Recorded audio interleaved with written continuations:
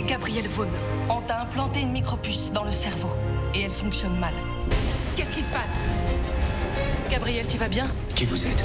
Allez Sa mémoire est toujours là, vous devez simplement la rebrancher.